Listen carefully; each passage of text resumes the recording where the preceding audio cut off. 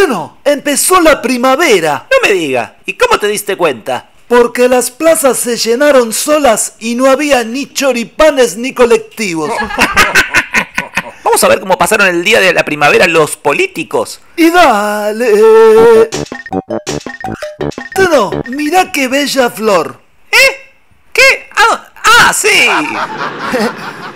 Qué lindo, está lleno de flores. Y qué lindo también es ver los nuevos brotes de primavera. Sí, ya estaba cansado de los brotes de siempre. ¡Te odio, la rata! ¡Vas a caer solo! ¡Te odio! ¡Tu madre, Macri! Mirá el típico enamorado deshojando la margarita. Cristina aprovechó para deshojar el libro de Margarita. Mirá, de esa planta salen ronquidos. ¿Qué flor será? Flor de vago.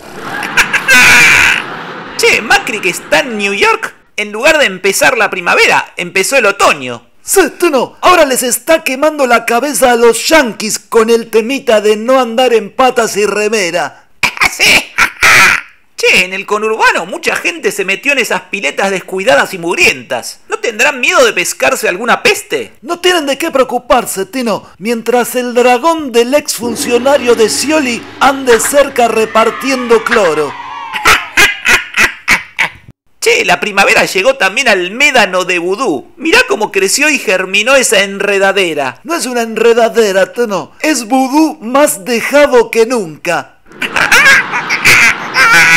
¿Con quién nos faltó hacer un chiste primaveral, Gargamusa? Con Randazo, Teno, pero su gente armó la florería, un flor de proyecto de Florencio, que como humorada es insuperable. Volvemos con A Dos Voces. Y dale.